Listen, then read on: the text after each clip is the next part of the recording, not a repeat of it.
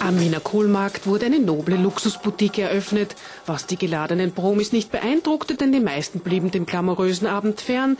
Der Designer kam mit seiner Mama und präsentierte Mode aus China, gereicht wurde Champagner, der auf dem Teppich landete.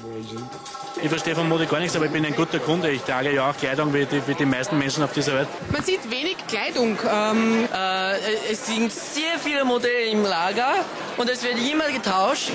Und äh, eine Luxusboutique soll auch nicht so viel Bekleidung draußen hängen. Vielleicht mussten die Kleiderständer der vornehmen 25 Quadratmeter großen Umkleidekabine weichen.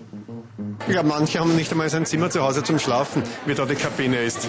Tut einem manchmal nicht so ein bisschen das Herz weh, wenn man was kauft um immenses Geld und das tragt man nur einmal? Natürlich. Also ich habe ich hab bei mir eine Grenze, die ich bei, bei Kleidungsstücken sage, weil ich weiß, wie hart es ist, Geld zu verdienen.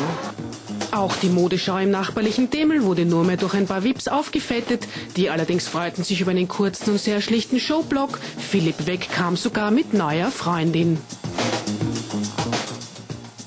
stört es eine Dame, wenn man jetzt ein teures Stück kauft und dann irgendwo hingeht und man sieht es an jemandem anderen auch?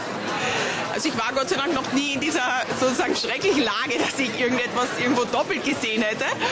Ähm, somit äh, kann ich mich da auch gar nicht so reinversetzen. Man glaubt immer, dass es an einem selbst besser, besser wirkt als beim anderen.